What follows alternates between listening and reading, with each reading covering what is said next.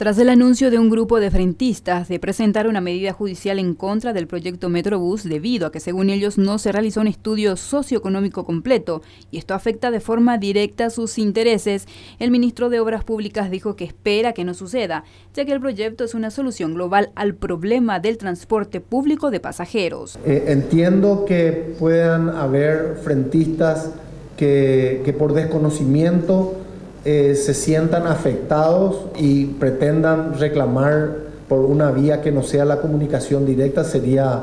una, eh, una lástima para el resto de, la ciudad de Asunción porque este no es el, el, proyecto Metrobús no es un proyecto solo para los frentistas, es un proyecto para todos los ciudadanos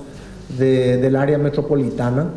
Eh, entre 350 mil y 400 mil personas van a usar diariamente ese corredor. Gaona sostuvo que las puertas del Ministerio de Obras Públicas siguen abiertas para el diálogo con los frentistas. ¿Cómo va a parar el tráfico sobre Eusebio Ayala?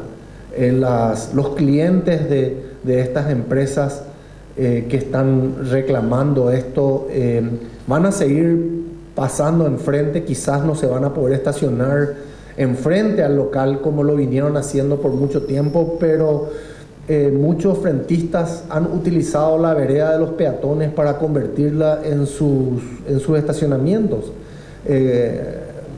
creando una situación de inseguridad para los peatones según el MOPC, el proyecto del Metrobús que pretende arrancar en junio de este año y terminarlo a fines del 2017, mejorará la calidad del aire con el retiro de 1.100 buses, la mayoría chatarras que serán reemplazados por 180 ómnibus 0 kilómetro con aire, como así también permitirá la instalación de desagües cloacales y pluviales y la readecuación de los sistemas de la ANDE y Copaco. Con imágenes de Hugo Isasi informó para BC Color Verónica Burgos.